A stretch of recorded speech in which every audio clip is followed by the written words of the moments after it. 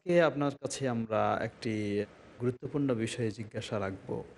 বিষয়টি আমরা জানি ইসলাম এর মৌলিক নীতিমালার বিষয় হলো দুটি।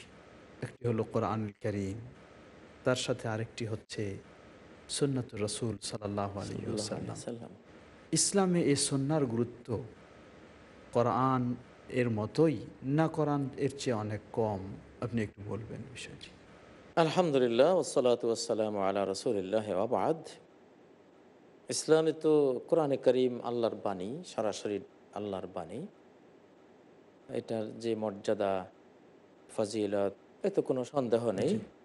তো এর পাশাপাশি আরেকটা জিনিস আল্লাহ ইন্নি উতিতুল কোরআন আলবানি বলেছেন হাদিসটি সহি যে আমাকে কোরআন দেওয়া হয়েছে মিসলাহু বলা হয়েছে। কোরআনের মতোই কোরআনের সাথে আরেকটা জিনিস দেয়া হয়েছে। এটা মতো হলো তাহলিল, তাহারিম, হারাম, হালাল, বৈধ, অবৈধ ইত্যাদি বিষয়ে কোরআন থেকে যেমন আমরা বিধান পাবো, ঠিক সেই মর্যাদার বিধান আমরা সন্না থেকে, হাদিস থেকেও আমরা পাবো।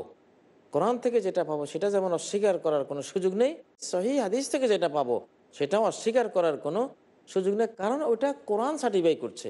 যেমন সুর হাসরের সাত নম্বর আয়তে আল্লাহ বলেছেন মা আতা কুমুর রসুলু ফাহুজুহু ফান্তাহু।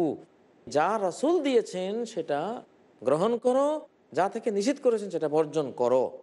আজকে আমরা দেখি ছোট্ট একটা গ্রুপ আমরা দেখি বিভিন্ন জায়গায় যে তারা বলে যে কোরআনে যা আছে এটাই নেব যেটা কোরআনে নাই এটা তো নেওয়া যাবে না, না। হাদিসকে তারা মানতে চায় না নিতে চায় না। তারা আত্মতৃপ্তিতে ভোগে যে আমরা তো কোরআনওয়ালা কোরআন তো মানছি তাহলে কোনো সমস্যা নেই। না তোমরা কোরআনও মানো নাই। কারণ কোরআন বলছে মা আতা কুমর রাসুল ফাকুজুহ যা রাসুল দেবে তার হাদিসে তার বক্তৃতা তার বর্ণনায় সেটা নিতে হবে। কোরআন বলছে। তাহলে যে ব্যক্তি হাদিস নিল না সে কোরআনের আয়াতকে অস্বীকার করল। সে না কোরআনওয়ালা হলো না সে হাদিসওয়ালা হলো সর্বহারা। দুইটাই হারালো। দুইটাই হারালো। সে এবনে মাসুদ রাদি আল্লাহ তালাহনুর একটি হাদিস সহি বোখারিতে এসছে। তিনি একদিন বললেন উম্মুল আলা নামকে এক মহিলা এবনে মাসুদ বললেন যে যারা উল্কি আঁকে গুলি মহিলা আছে না যে চামড়া ভেদ করে উল্কি আঁকে যারা উল্কি আঁকে তাদের উপর লানত লান আল্লাহ ওয়াশেমা অল মুস্তাহসেমা যে উল্কি অঙ্কন করে যে অর্ডার দেয় দুইজন উপরে লানত অল ওয়াসেলা অল মুস্তাহসেলা। পর চুলা লাগায় যারা মানুষের চুল কৃত্রিম চুল না একবারে অরিজিনাল চুল দিয়ে যারা মাথা বড় করে পর চুলা লাগায় এগুলির উপরে লানত মুস্তাহসেলা যারা ওই কাজটা করে তাদের উপরে লানত তারপর নাম এসা অল মোতানামেসা যারা চোখের ভরু কাটে। যে ভ্রু কাটে এবং যারা ভ্রু কাটার এই শ্রমটা করে দুইজনের উপরে লানত। তো উনি বললেন যে তুমি লানত দিলা? এমনি মাসুদ বলেন মালিলা আলান লানা রসুল্লাহ সাল্লা সাল্লামা অহু আফি কিতাবিল্লাহ। যে আমি তাকে কেন লানত দিব না যাকে স্বয়ং আল্লাহ রসুল লানত দিয়েছেন আবার এই লানতটা কোরআনেও আছে। তখন ওই মহিলা আশ্চর্য বললেন আরে কোরআনে আছে কি বললা? ওটা কোরআন পড়েছে। আমি তো লাকাত কারাহাত মা বাইনার দাফাতাইন কোরআনের দুই মলাটের মাঝখানে যা আছে পুরো কোরআন তো পড়লাম। কোরআনে এই ভ্রু যে কাটে তাকে লানত তারপর উল্কি আঁকনেওয়ালিকে লানত তারপরে এই জাতীয় লানতের তো কোনো আয়ত আমি পেলাম না। এমনি মাসুদ বললেন লাইন কুনতে করাতি হে লাকাত অজাতি হে তুমি যদি এটা পড়ে থাকো অবশ্যই পেয়েছ। সে বলল কি বলো তুমি? আমি সারা কোরআন পড়ি কই তো আমি তো পাইলাম না। উনি বললেন এটা পড়ো নাই মা আতা কুমর রসুলু এটা পড়ছো? যে রসুল যা নিষেধ করেছেন ওটা বাদ দিতে হবে কোরআনের অর্ডার।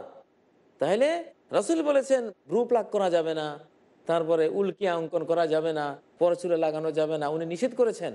তো কোরআন বলছে, রসুলের নিষেধ মানতে হবে, তাহলে এটা কোরআনেরই কথা তো হয়ে গেল।